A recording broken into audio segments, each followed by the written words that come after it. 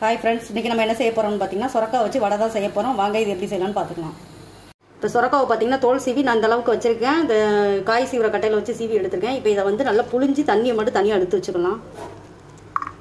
வடித்ததில் பார்த்தீங்கன்னா இவ்வளோ தண்ணி வந்திருக்கு. இப்போ எடுத்து வச்சாச்சு. மிக்ஸி ஜாரில் இப்போ மசாலாவை சேர்த்துக்கலாம். அரை ஸ்பூன் சோம்பு சீரகமும் சேர்த்துக்கிறேன். இதில் பார்த்தீங்கன்னா ஒரு காஞ்ச மிளகா ரெண்டு பச்சை மிளகா ஒரு துண்டு இஞ்சி நாலு பல் பூண்டு.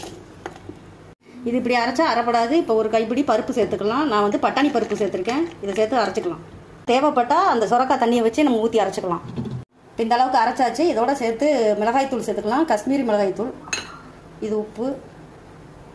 கரம் மசாலா ஒரு அரை டீஸ்பூன் சேர்த்துக்கோங்க. ஒரு பெரிய வெங்காயம் கொஞ்சோண்டு கருவேப்பிலை சேர்த்துக்கோங்க. இதோட சேர்த்து சுரக்காவையும் சேர்த்துக்கலாம். நம்ம இது பண்ணி சீவி வச்சதை. வடைகளை தட்டி ஒன்று ஒன்றா போட்டு எடுத்துக்கலாம். இந்த அளவுக்கு வந்ததும் ரெண்டு பக்கம் திருப்பி திருப்பி போட்டு எடுத்துட்டு எடுத்துடலாம் வடைய